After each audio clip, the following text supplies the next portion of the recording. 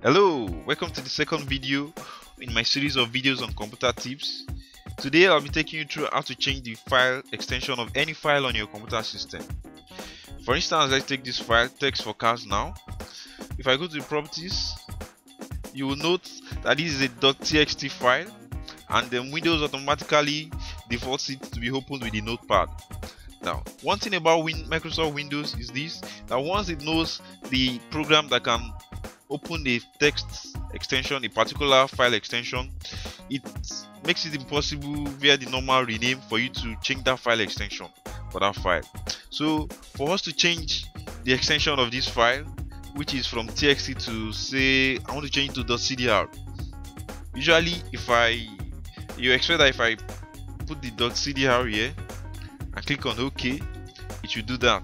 But now let's see it has added the .cdr but if I still go back to properties you will note that it's still seeing the file the type of file as .txt it has added the .cdr as just part of this file name.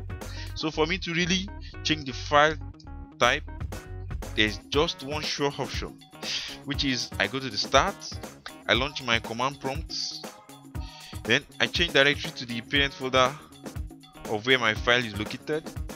Then I use the rename function ren which does the actual file extension renaming for me. I type the name of the file I want to rename. Then what I want to rename it to this time around .cdr I click on enter. Then let's go check. As you can see it has done that.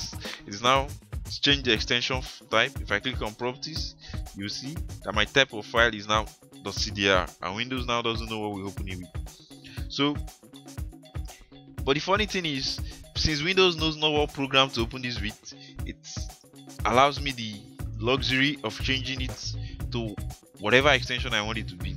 Let's say I want to change it back to .txt.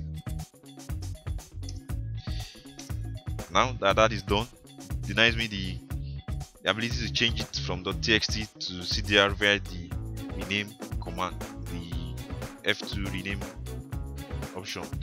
So the only way I can do this is once again via the old command prompt.